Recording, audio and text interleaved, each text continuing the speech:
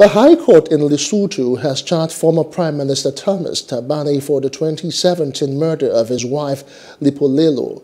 According to charges read, Thabane is accused of hiring hitmen to kill Lipolelo in June 2017, two days before he took office as head of government. The accused include Thabane's current wife, Maesaiah, who married Thabane two months after the murder and who was granted controversial bail in June.